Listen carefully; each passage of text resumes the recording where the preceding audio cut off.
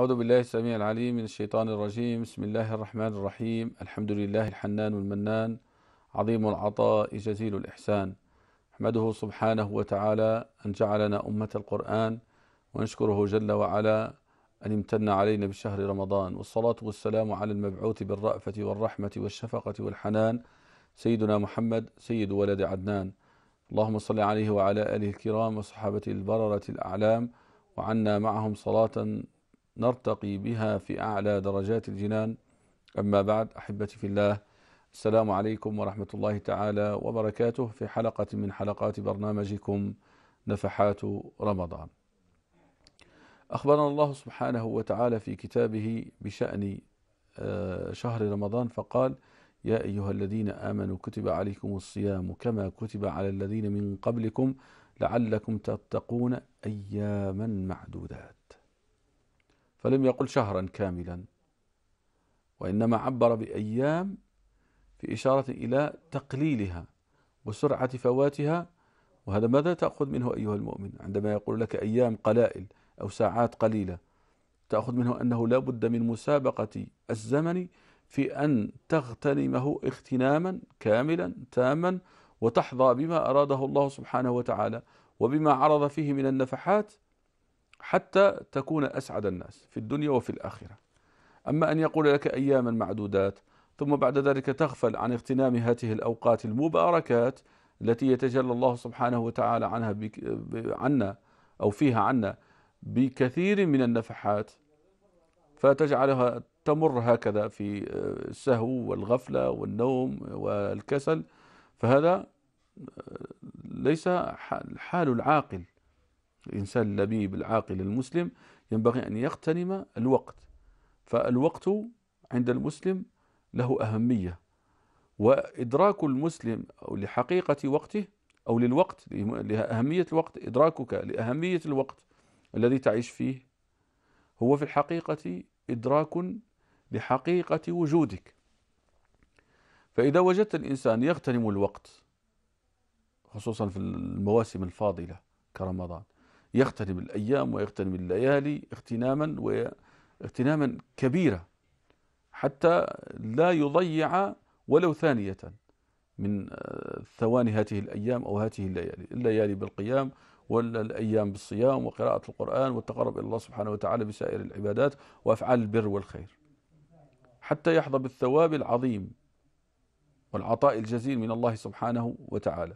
فإذا وجدت الإنسان يغتنم وقته في رمضان أو في غير رمضان ويعرف له قيمة فاعلم أنه قد أدرك قيمة وجوده في الدنيا.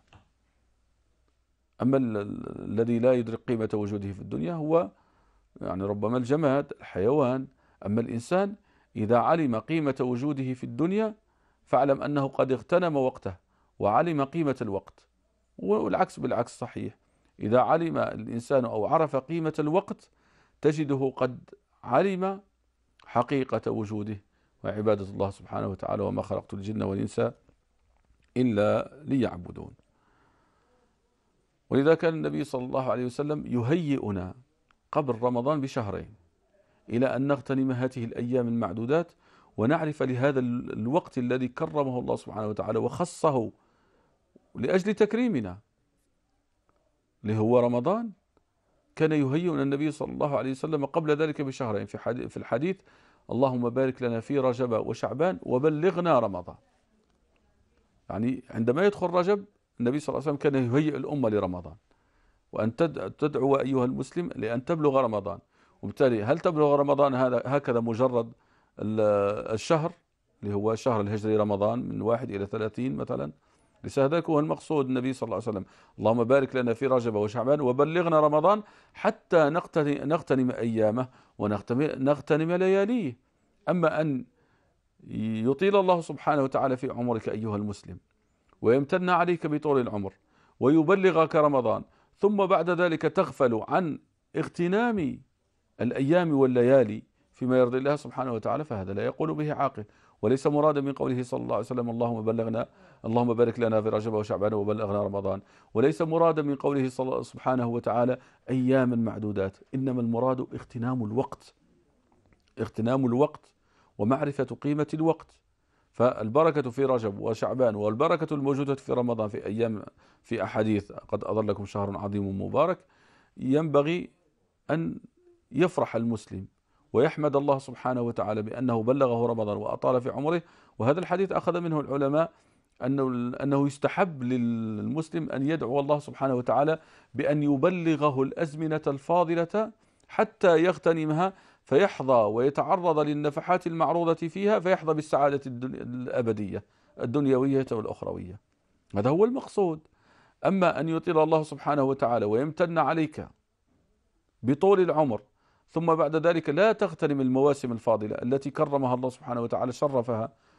فهذا آه، لا ينبغي أن يكون عليه حال المسلم.